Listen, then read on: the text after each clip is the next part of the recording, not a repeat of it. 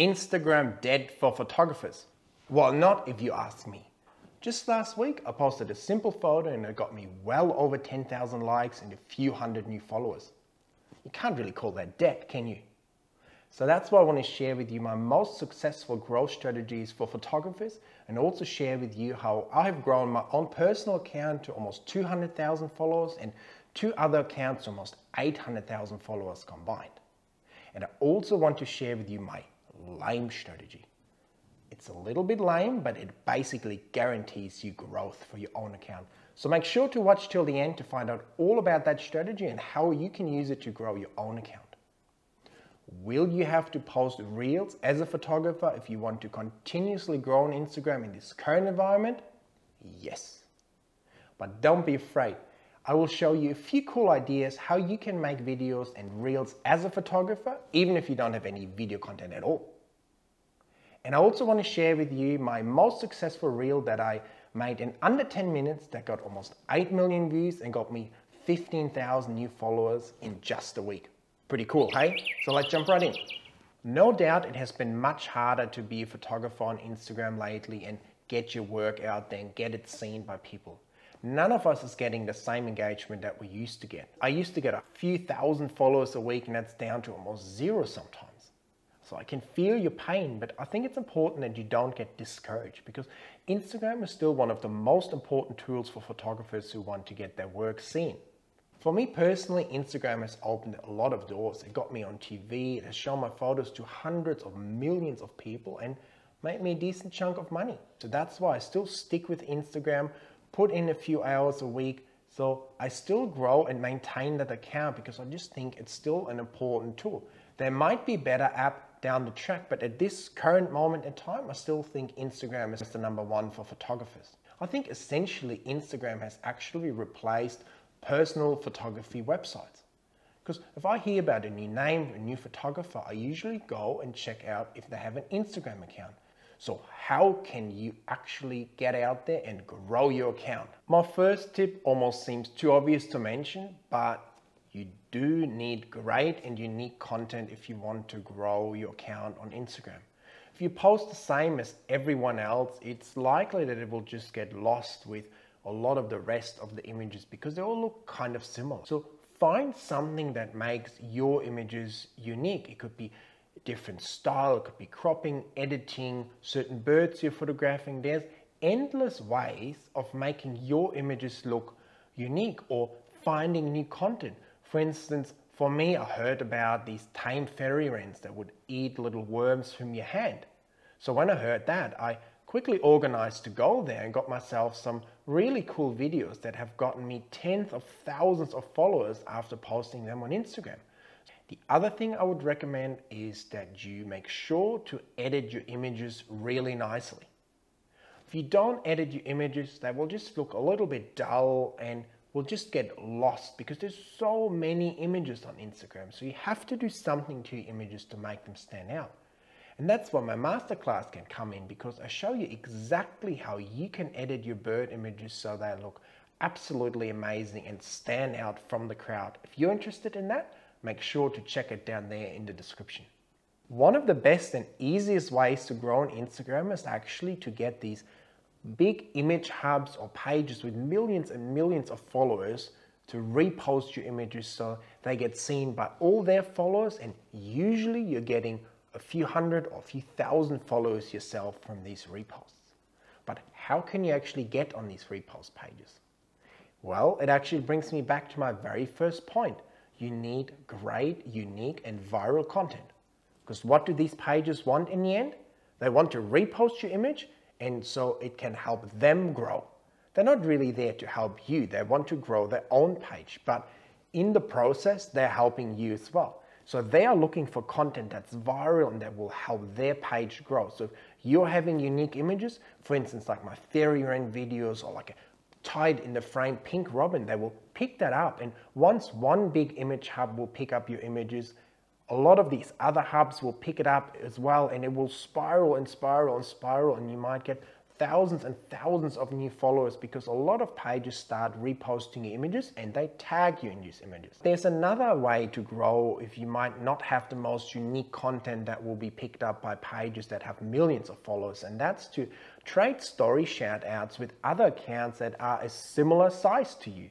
You might have a few friends that have an Instagram account as well, and it's very unlikely that you share the exact same followers. So what you can do is just trade story shout outs with other people. Say, hey, why don't you tag me in one story and get your followers to come to my account and I do the same for you. And I've done that in the past many, many times with a few friends and we've all managed to grow over time by just sharing these story shout outs and just basically exchanging followers a little bit. So that's something that you can do if you have a small account. Another thing that's important is cropping. When we are looking at Instagram, we're just using our phone with that little tiny screen. So to be seen, the best ratio is to have it in a 4 by 5 vertical ratio because it takes up the most screen space on everyone's phone. And if only your photo can be seen when people scroll through your feed, they're a lot more likely to engage with this. Whereas if you're posting like a small image, it's only going to be like that small on people's screens and they might not even be able to see it. So they're very quickly scrolling past it. So cropping is a very important part in preparing images on Instagram. And what you can do as well, and what I do for instance, I have a 3 by 2 version, but then for Instagram I just crop in, have a 4x5 version because it usually gets me more engagement. The other option is as well, you can actually make more images out of the same image. For instance, this shot of these cool, awesome Major Mitchell cockatoos, I actually posted three times. I posted the image with the two birds, and then I posted two 4x5 crops of each individual bird. And each of those images got me many, many likes, many, many comments, great engagement, and many, many new followers. So I have just one photo, but it makes me three pieces of content. And so you can work with that with many of your photos. For instance, if a bird is relatively close, you could post a full body shot, and then you can crop right in to the bird's head, get another photo out of it. So you can actually use existing content to create new content. Let's talk about hashtags for a little bit. It's one of those things everyone's like, oh my God, I need good hashtags. But from my experience, they don't mean that much in the end when it comes to growth. I use hashtags. I have a few sets of hashtags that I copy and rotate. And it's important that you don't use the same hashtags every day. But in the end, for growth, I didn't find hashtags to be super useful. And even if I have pictures that get hundreds of thousands of views through hashtags, this for some reason never usually translates into new followers. To get new followers, you really need to get onto the explore page. And from my experience, hashtags don't really get you there. They can help, they help you to get your work seen, but I wouldn't spend too much time on finding new hashtags or curating my hashtags. From my experience, when I tried, whether I post the same set, a different set, it almost does the same and it's just the luck of the draw. The only other suggestion I have, and this is especially for smaller accounts, if you're picking hashtags, make sure you're not picking hashtags that have like 5 million folders or 10 million folders because your content will never be seen. If you pick hashtags like the bird name, for instance, you might actually then get into the top nine that get shown when people search for that hashtag. And then on a small account especially, you might actually be able to grow from the hashtags as well. So I would probably say if you're a small account, hashtags are a little bit more important, but for bigger accounts, hashtags really don't seem to have that much value at the moment, at least from my own personal experience. Do you have any other experience? Let me know in the comments. It's called social media for a reason. So what you actually have to do is engage with people when you're on Instagram. Don't just come on once a week, post one photo and then leave, never reply to any of your comments or questions in your comments, never like or comment on other people's photos. That's just not what gets you to where you want to be. What you want to do is be an active user and engage with other people. Follow other people, like their work, comment on their work, and just build your own little community. It's actually quite fun to meet new people. I've met some fantastic new friends on Instagram, have some nice WhatsApp groups where we just talk about Instagram. So it's been a great experience overall for me, and I got in contact with many new photographers, and many people shared some amazing new spots with me. So, all in all, engaging with other people is very important if you want to grow your account. And not just that, it's actually a nice way to connect with a lot more nice and like minded people. Don't be shy, show yourself on your Instagram account. My personal account only really started to take off once I showed myself more, not necessarily in my image feed, but I did a lot of stories, I talked to my phone, I made stories, I engaged with people so people could actually see who's behind the account. If you're following an account, it's always interesting to see who's the photographer, what are they up to, isn't it? If you don't know who you're following at all, you might be less likely to stick around. Whereas there's a fun guy that does different things, takes me out with him into the field, it's a lot more engaging and a lot more interesting for people, isn't it? And this is why I think stories can come in and are a very important tool to definitely use, ideally on a daily basis, because they allow you to have content that you wouldn't post on your feed because it might not be the highest quality, but it's good enough to be shared with people. So just quick in the field videos and a lot of other content that I think is very important to share in your stories.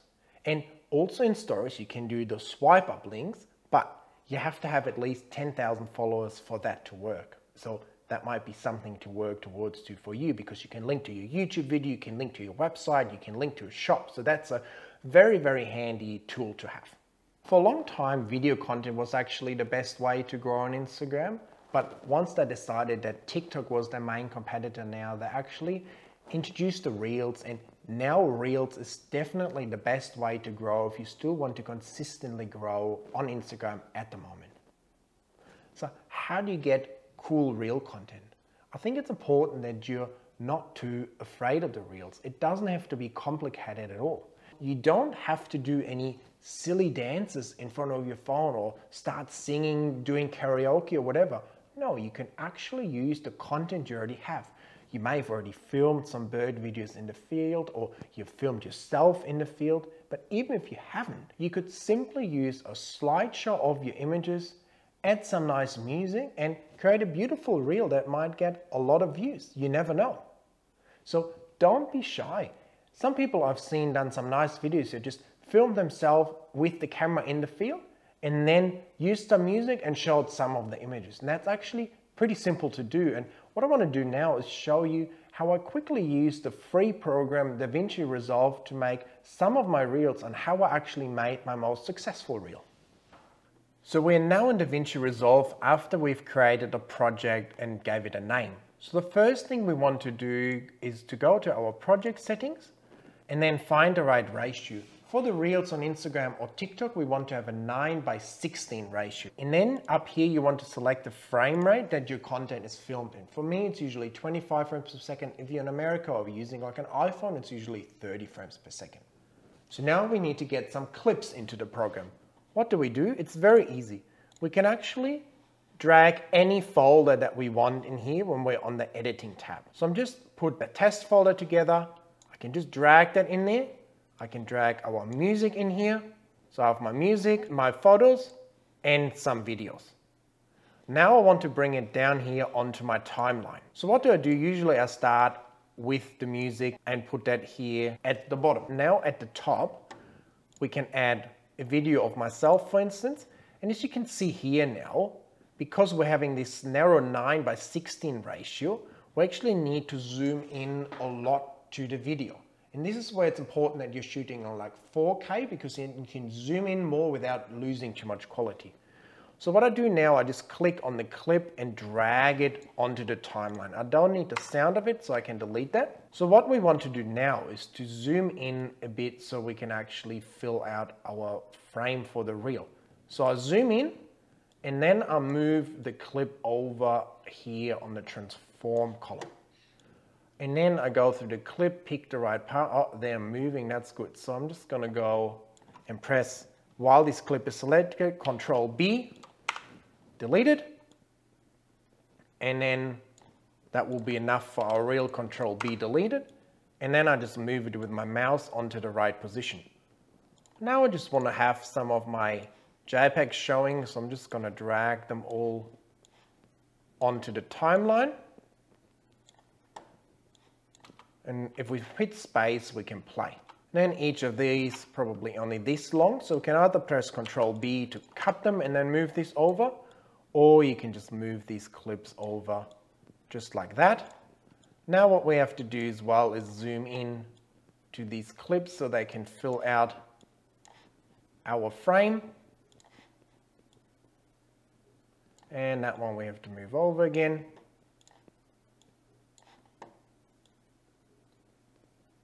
This one we want to zoom in, keep the reflection. And our last one. And because it's boring if these photos don't move at all, you can click over here where it says dynamic zoom. And if you turn that on, you can see it's actually now moving your images.